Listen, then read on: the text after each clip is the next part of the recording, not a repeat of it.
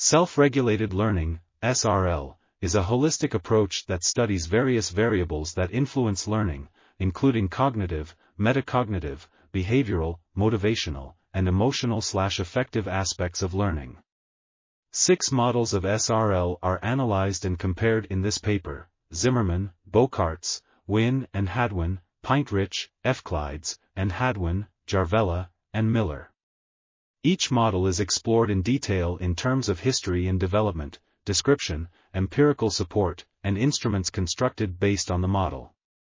The models are then compared in aspects such as phases and subprocesses, how they conceptualize, meta, cognition, motivation, and emotion, top-down slash bottom-up, automaticity, and context.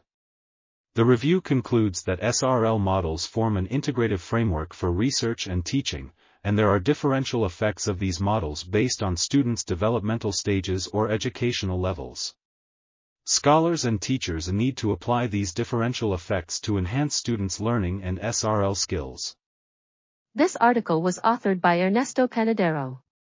We are RTCL.TV, links in the description below.